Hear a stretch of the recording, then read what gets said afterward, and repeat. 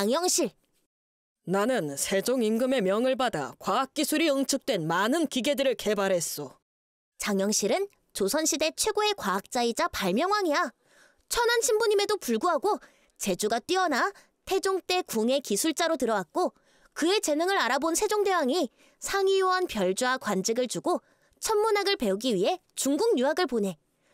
물시계인 자경루, 해시계인 양부일구, 추구기 등 많은 천문 기구를 발명했어.